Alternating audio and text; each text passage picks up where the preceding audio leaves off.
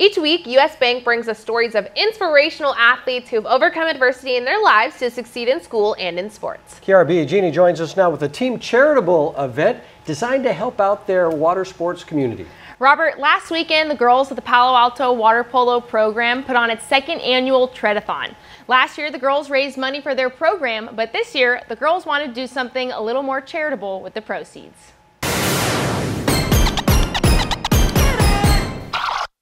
Welcome to the Palo Alto Girls Water Polo second annual Treadathon, an event bringing the community together to raise money for Beyond Barriers Athletic Foundation, a nonprofit trying to make water sports more available to underprivileged young people.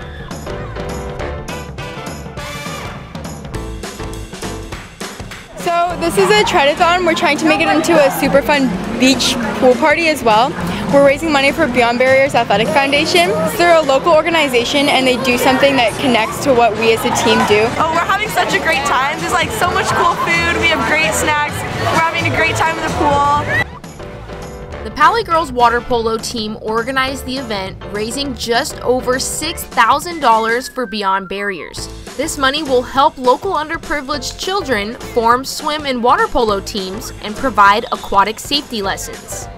We're so grateful to the Paly Polo girls for taking time out of their obviously uh, busy schedules. They've stopped to take a moment to put their efforts into supporting children in need uh, in their local underserved neighborhoods. They want to help transform other children's lives through aquatics the way their lives have been transformed. So they're pretty amazing young women.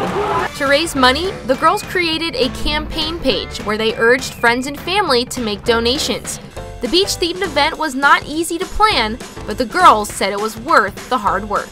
We definitely spent a lot of time organizing this and putting this together and it's so nice to see it all come into effect and to know that us having fun and having a fun time with our community and our school is going to have a benefit for other people.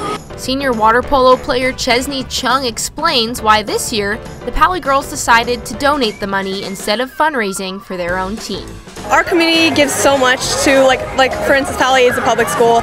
We have so many sponsors to help us um, improve and train and practice. So we are help we're trying to help back give back to our community um, because they've given so much for us to improve and just play water polo in general. The Treadathon was a great bonding experience for the team and a wonderful way to have fun and give at the same time. What a fun event to attend. The girls were so excited to raise money for Beyond Barriers Athletic Foundation. The team hopes to build off of this year and make the next years even bigger and better. I got to be honest with you. I did not see a lot of treading going on. Not too much, not too much, but they were having fun. They had a great time. Yes. All right, very good.